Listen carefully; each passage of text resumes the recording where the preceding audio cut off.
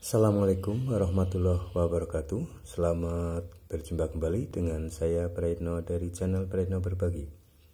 Baik Bapak Ibu Guru di mana pun berada Semoga dalam keadaan sehat walafiat dan tetap selalu semangat di dalam menjalankan tugasnya. Bapak Ibu Guru sekalian Dalam kesempatan kali ini di video ini saya hadir untuk menyampaikan contoh jurnal harian pelaksanaan pembelajaran. Yang mungkin Bapak Ibu guru membutuhkannya file ini ya untuk mencatat atau mendata mengenai jurnal harian pelaksanaan pembelajaran yang Bapak Ibu guru laksanakan setiap hari ya tentunya harus tercatat terprogram dan e, menjadi tertib ya teratur dalam melaksanakannya. Baik Bapak Ibu guru, ini adalah salah satu contoh saja ya e, sebagai referensi Bapak Ibu guru di dalam menyusun jurnal harian. Jurnal harian ini penting sekali karena ini adalah salah satu bukti nyata bahwa Bapak Ibu guru melaksanakan tugasnya dengan baik. Nah, Jurnal ini adalah salah satu uh, administrasi yang dibutuhkan dan sering ditanyakan, sering dinilai untuk kenaikan pangkat maupun untuk Bapak Ibu guru berkarir ya. Baik Bapak Ibu guru, mari kita uh, simak ya penjelasan mengenai jurnal harian pelaksanaan pembelajaran. Di sini uh, saya contohkan seperti ini formatnya ya, yaitu judulnya jurnal harian pelaksanaan pembelajaran kemudian ada sekolah ya kemudian nama gurunya kelas semester kemudian tahun pelajaran 2022-2023 ini contoh saja. Nah di sini ada mata pelajaran apa? PPKN unit 1 misalnya tentang aku cinta Pancasila. Ini ada kolom pembelajaran keberapa? Kemudian tujuan pembelajarannya apa? E, materinya dan penilaian yang akan dilaksanakan oleh Bapak Ibu guru apa, kemudian hari tanggal pelaksanaan. Nah, tentunya ini sudah disusun ya. Ini sudah disusun sesuai dengan uh, capaian pembelajaran dan tujuan pembelajaran yang akan dicapai uh, ya uh, menurut mata pelajaran masing-masing. Ini tadi adalah PPKN. Kemudian di sini uh, ada ya masih PPKN ini. Kemudian bahasa Indonesia ya. Di sini minggu dalam pembelajaran mata pelajaran bahasa Indonesia bab tujuan pembelajaran materi pembelajaran penilaian dan hari tanggal pelaksanaan.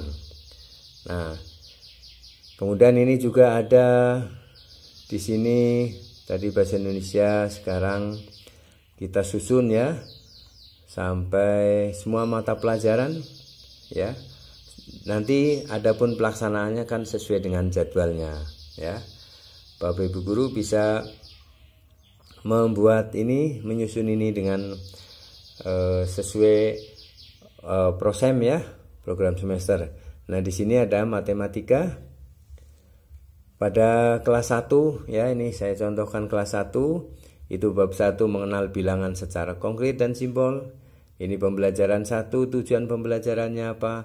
Materi pembelajaran bilangan caca sampai dengan 10, sikap pengetahuan dan keterampilan untuk penilaiannya, dan hari tanggal pada pelaksanaannya sesuaikan dengan Bapak Ibu Guru ya.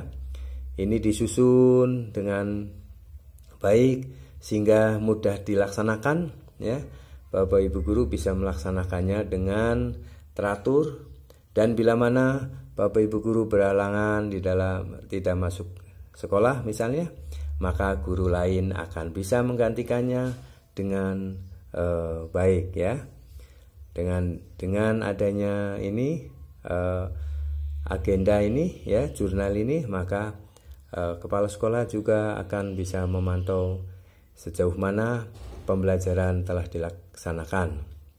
Dan untuk Bapak Ibu guru ini juga bisa sebagai uh, pemantau ya sudah sampai di mana pembelajaran dilaksanakan dan sejauh mana apa yang belum dilaksanakan dan ini akan menjadi eh, rambu-rambu Bapak Ibu guru di dalam melaksanakan tugasnya. Nah, di sini Bapak Ibu guru ya, tadi sudah eh, dijelaskan mengenai mata pelajaran yang disusun ya. Ini sudah saya susun secara eh, lengkap sehingga Bapak Ibu guru bisa mendapatkan filenya ini ya.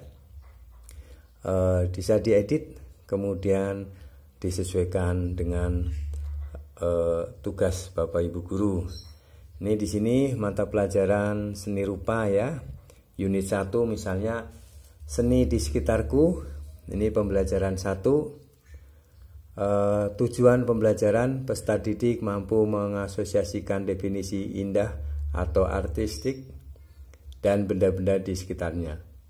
Materinya adalah benda artistik.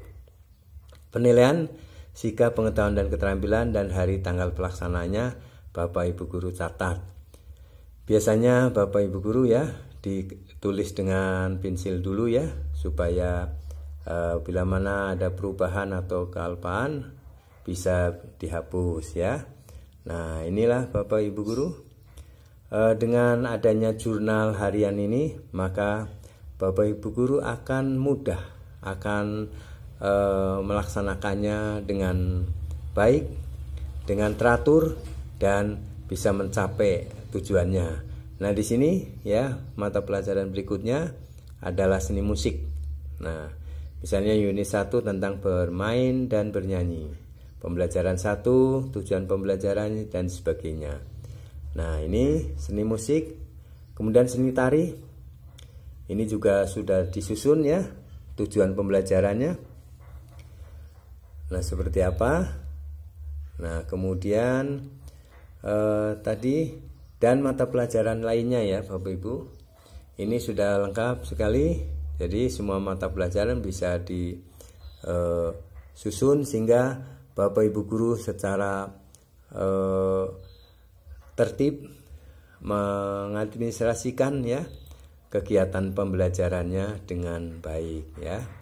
Uh, itulah Bapak Ibu guru e, secara singkat ya mengenai gambaran tentang jurnal harian pelaksanaan pembelajaran yang akan dilaksanakan.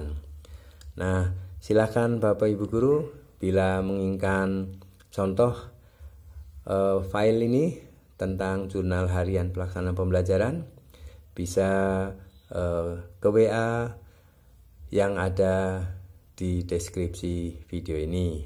Tentunya harus memenuhi syarat ya Bapak Ibu Guru menonton dengan selesai, kemudian like, subscribe, dan isi komentarnya serta share videonya ke rekan-rekan guru lainnya. Screenshot dan kirimkan screenshotnya kepada uh, eh, WA di deskripsi video ini sehingga Bapak Ibu guru bisa mendapatkan filenya secara gratis ya. Terima kasih atas perhatiannya. Mohon maaf apabila ada kesalahan di dalam penyampaian dan tetap semangat Bapak Ibu guru di dalam melaksanakan IKM. Terima kasih. Assalamualaikum warahmatullahi wabarakatuh.